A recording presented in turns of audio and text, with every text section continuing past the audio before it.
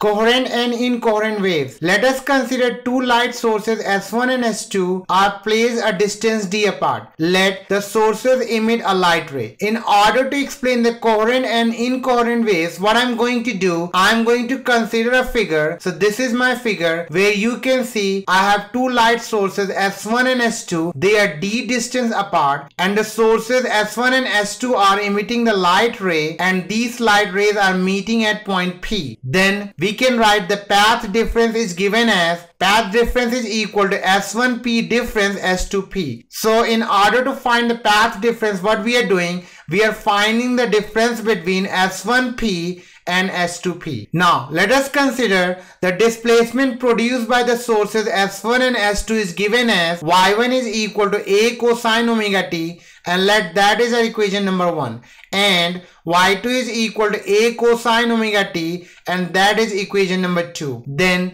the resultant of the displacement at point p is given as y is equal to y1 plus y2 and if we substitute the value of y1 and y2 we will write y is equal to a cosine omega t plus a cosine omega t. And if we simplify further we will get y is equal to 2a cosine omega t and let this is equation number 3.